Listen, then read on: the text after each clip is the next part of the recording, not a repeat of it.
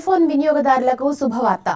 ఇప్పటి వరకు cell phone నుంచి కేవలం వంద ఎస్ఎంఎస్లు పంపేందుకు మాత్రమే ట్రాయ్ అనుమతినిచ్చింది. అయితే దానిని రెండు వందలకు పెంచుతూ నిర్ణయం తీసుకుంది.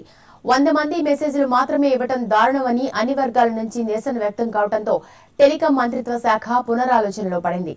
దైనందిన జీవితంలో సెల్ ఫోన్ అవసరం బాగా పెరగటం అందున సంక్షిప్త సందేశాల ప్రాధాన్యత పెరగటంతో వీటి సంఖ్యను పెంచాలని ట్రాయ్ సంకల్పించింది.